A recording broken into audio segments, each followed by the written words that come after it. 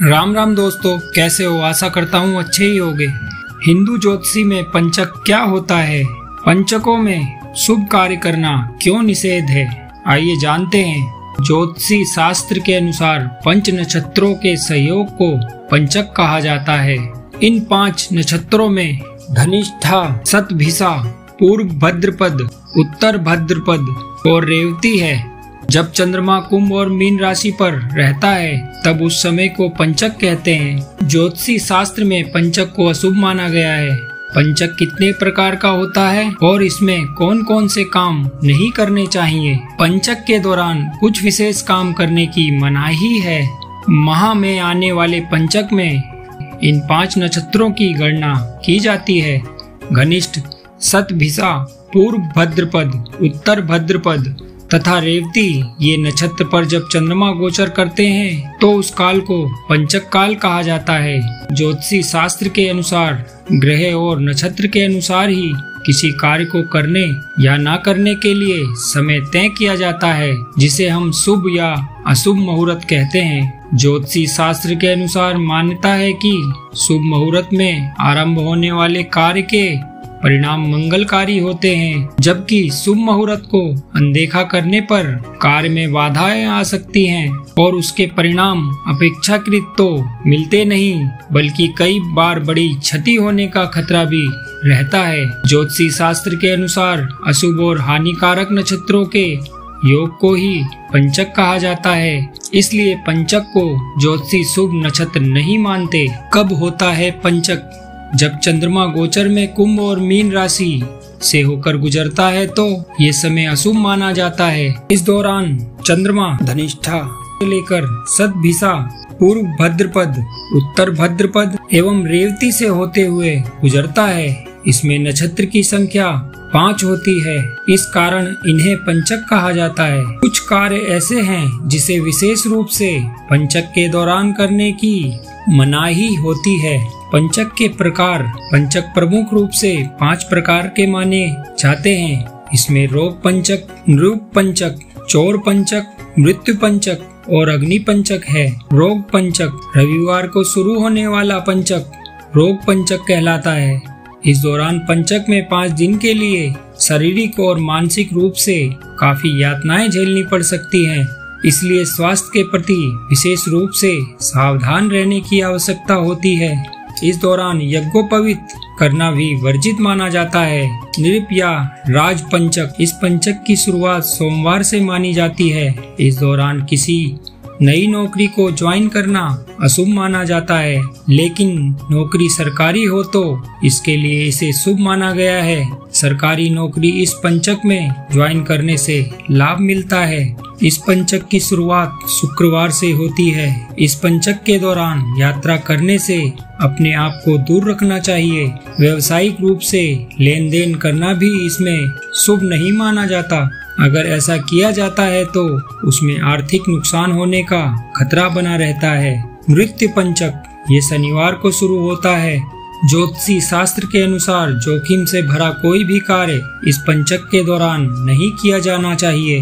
विवाह जैसे शुभ कार्यों की भी इस दौरान मनाही होती है। इसमें जान और माल का नुकसान हो सकता है। इसीलिए इसे मृत पंचक कहा जाता है। अग्नि पंचक, ये मंगलवार को शुरू होता है। घर बनाना हो या फिर एक घर से दूसरे घर में प्रस्थान करना अथवा गृह प्रवेश करना अग्नि पंचक के दौरान इन कार्य को नहीं किया जाता। न्यायालय संबंधित कार्य को इस पंचक के दौरान किया जा सकता है। इसके अलावा बुधवार और गुरुवार को शुरू होने वाले पंचक में ऊपर दी गई बातों का पालन करना ज़रूरी नहीं माना गया है। इन दो दिनों में शुरू होने वाले दिनों में पंचक के पाँच कामों के अलावा किसी भी तरह के शुभ काम किए जा सकते हैं। पंचक का कौन सा नक्षत्र है? इसके लिए हानिकारक है।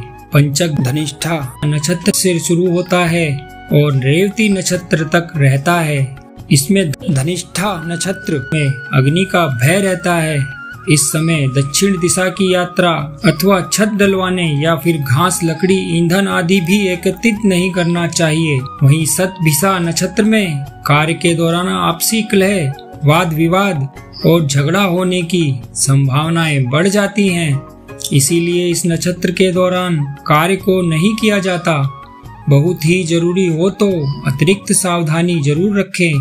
पूर्व भद्रपद नक्षत्र आपकी सेहत के लिए हानिकारक होता है। अतः इस दौरान अपनी सेहत का ज़रूर ध्यान रखना चाहिए। उत्तर भद्रपद नक्षत्र व्यवसायिक रूप से आपके लिए बहुत हानिकारक होता है।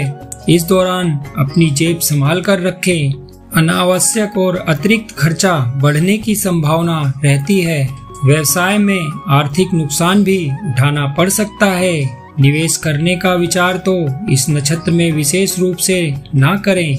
वहीं रेवती नक्षत्र में भी धन की हानि होने की संभावनाएँ रहती हैं। वही पंचक में यदि किसी की मृत्यु हो जाती है तो उसका अंतिम संस्कार विशेष विधि के तहत किया जाना चाहिए। अन्यथा पंचक दोष लगने का खतरा रहता है, जिस कारण परिवार में पाँच लोगों की मृत्यु हो सकती है। इस बारे में गरुड़ पुराण में विस्तार से जानकारी मिलती है।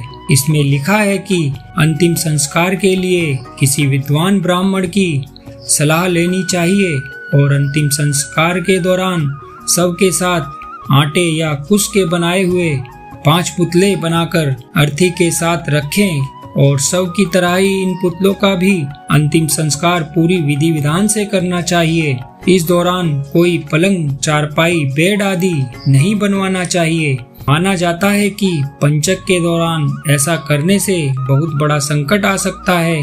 पंचक शुरू होने से खत्म होने तक किसी यात्रा की योजना ना बनाएँ। मजबूरी वश कहीं जाना भी पड़े तो दक्षिण दिशा में जाने से परहेज करें, क्योंकि ये यम की दिशा मानी जाती है। इस दौरान दुर्घटना या अन्य विपदा आने का खतरा आप पर बना रहता है। पंचक में करने योग्य शुभ कार्य पंचक में आने वाले नक्षत्रों में शुभ कार्य भी किया जा सकता है। पंचक में आने वाला उत्तर भद्रपद नक्षत्र वार के साथ मिलकर सर्वर्थ सिद्धि योग बनाता है। वहीं धनिष्ठा सत भिसा पूर्व भद्रपद व रेवती नक्षत्र यात्रा व्यापार मुंडन आदि शुभ कार्यों में श्रेष्ठ माने गए हैं। पंचक में आने वाले तीन नक्षत्र पूर्व भद्रपद, उत्तर भद्रपद व रेवती रविवार को होने से आनंद आदि 28 योगों में से तीन शुभ योग बनाते हैं। ये शुभ योग इस प्रकार हैं। चर, स्थिर व प्रवर्ध, इन शुभ योगों से सफल व धन लाभ का विचार किया जाता है। मुहूर्त चिंतामणि ग्रंथ के अनुसार, पंचक के नक्षत्रों का सुफल, धनिष्ठा और सताभिसा नक्षत्र चल संज्ञक माने जाते हैं। इनमें चलित काम करना शुभ माना गया है। जैसे यात्रा करना, वाहन खरीदना, मशीनरी संबंधित काम शुरू करना शुभ माना गया है। उत्तर भद्रपद नक्षत्र, स्थिर संज्ञक नक्षत्र माना गया है। इसमें स्थिरता वाले काम करने चाहिए। जैसे बीज बोना, गृह प्रवेश, शांति पूजन और ज़मीन से जुड़े स्थिर कार्य करने में सफलता मिलती है। रेवती नक्षत्र, मैत्री संज्ञक होने से इस नक्षत्र में कपड़े व्यापार से संबंधित सौदे करना, किसी विवाद का निपटारा करना, गहने खरीदना आदि काम शुभ माने गए हैं। इन नक्षत्रों के संयोग से पंचक नक्षत्र आता है। चंद्रमा एक राशि में ढाई दिन रहता है अतः दो राशियों में चंद्रमा पाँच दिन तक रहता है। इन पाँच दिनों के दौरान चंद्रमा धनिष्ठा सताभिषा पूर्व भद्रपद, उत्तर भद्रपद और रेवती से गुजरता है। इस कारण ये पाँचों दिन पंचक कहे जाते हैं। दोस्तों, आपको ये जानकारी कैसी लगी? कमेंट में ज़रूर बताना। जय श्री राम।